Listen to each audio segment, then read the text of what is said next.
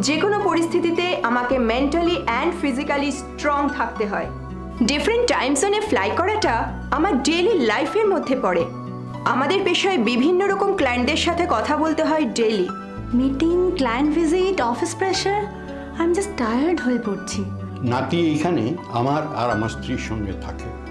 প্রথম প্রথম খুব ভয় করতো।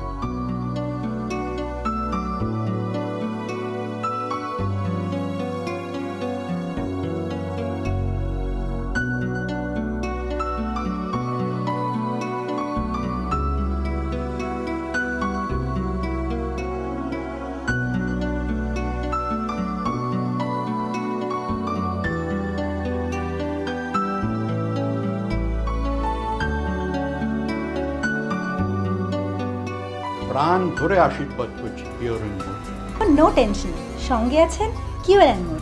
আমার সাথে আছে কিও অ্যান্ড মো থ্যাংক ইউ